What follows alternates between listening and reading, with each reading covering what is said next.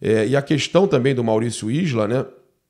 Que agora até o Globo Esporte é, publicou, a gente sabe que, é, olha só, o, sobre o, a questão do do Maurício Isla. Tá aqui, ó. Flamengo recebe informação, notícia do Globo Esporte, que a gente já trouxe ontem para vocês, que tinha saído lá no Chile. A gente está sempre ligado em tudo. Então saiu lá no Chile, né, no, no Encantia, aí a gente é, já trouxe para vocês, né? E agora o Globo Esporte publicou. É, Flamengo recebe informação de que a Universidade Católica fará investida pelo lateral direito Isla. Jogador de 34 anos, tem contrato até o final de 2022 e perdeu espaço nas últimas rodadas.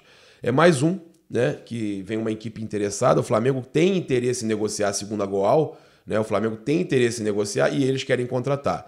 Então o Flamengo pode negociar por um valor baixo, né? É uma situação que o Flamengo quer se livrar do salário do jogador também, para abrir espaço, abrir brecha para contratar um outro jogador, né? Então a gente a gente tem aí o Olha só, a matéria é, também fala que na quinta-feira a rádio ADN do Chile noticiou que o Isla está perto de trocar o Flamengo pelo Católica. A gente teve o Encantia falando em 99% de chance do Isla sair. Então são essas situações. O Rodinei não deve também ser renovado, mas a diretoria não vai se pronunciar por questões óbvias de motivação e tudo mais. Vai utilizar o jogador, a não ser que chegue uma proposta por agora nessa janela, mas vai utilizar o jogador. O mesmo caso é do Vitinho, tá? Eu só queria falar sobre uma matéria importante, né? Que a gente tem aqui, cara. Olha, o Gavia News e outros veículos trouxeram uma repercussão sobre algo muito chato que aconteceu no Maracanã. Apesar da vitória, tá aqui ó, a matéria do Gavia News, tá? Apesar da vitória do Flamengo, a atitude de Marcos Braz revolta a torcida. Veja a repercussão. Olha, é, aí, aqui fala o seguinte: é, ao todo, o VP do Departamento de Futebol levou quatro políticos ao vestiário. O Rafael Thompson, secretário do governo do Rio de Janeiro, Rodrigo Bacelar, deputado estadual, Júlio Bernardes, subsecretário de Estado do governo, e Rodrigo Castro, assessor é, da governadoria do Estado do Rio de Janeiro. A atitude do Marcos Braz não passou despercebida pela torcida nas redes sociais. Diversos internautas detonaram o dirigente e cobraram uma postura mais profissional em relação ao Flamengo. O Braz, que lá no Maracanã foi muito xingado por torcedores, né, sempre cobrando e tudo mais. É, o planeta do Mengão, ó, os torcedores reclamando muito. Planeta do Mengão, o Braz meteu um monte de político no vestiário depois da vitória.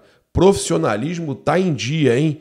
É, o Braz toma, toma umas atitudes que revoltam né, os torcedores, né? Algumas atitudes aí que são inacreditáveis. O César, César Fê 74258404.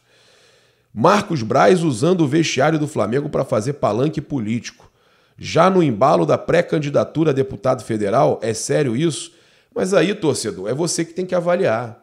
É você que tem que avaliar. Eu já cometi o erro lá atrás de apoiar o, o cidadão. E hoje vocês estão vendo tudo isso que está acontecendo aí. Eu apoiei o cidadão e meto a cara aqui para falar, eu apoiei o cidadão. Não apoio de novo. Não apoio de novo. Tá?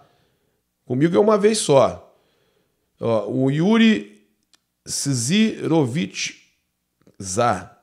Sério, Flamengo, uma vitória e já, já legalizou essa sacanagem de novo aí. Os torcedores revoltados. Olha só. É, vestiário não é lugar de político e o Braz está fazendo hora extra no clube. Deixa ele se dedicar ao cargo de vereador e bota um profissional competente para cuidar do futebol do clube. Fora Marcos Braz, o Yuri pedindo. Flá Campos, News, RJ. Braz encheu o vestiário de político depois do jogo. Jogador se trocando e político perambulando pelo vestiário. Que coisa constrangedora e inadmissível. Fora Marcos Braz.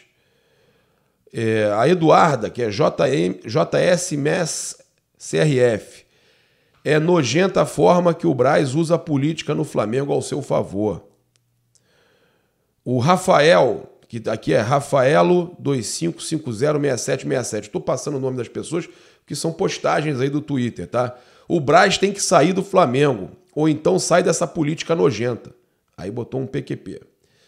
O Rafa, o Rafa Marques CRF.